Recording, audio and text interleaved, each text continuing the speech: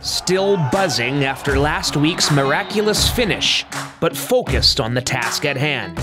The BC Lions are on the road again and looking to complete the sweep of the Edmonton Elks.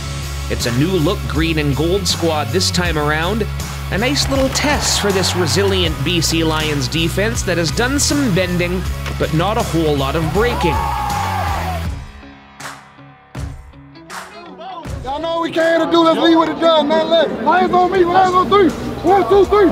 And our quarterback, yeah, he's pretty good too. It is touchdown, BC Lions. Five straight games of over 300 yards for VA, who is on pace to eclipse his previous career high.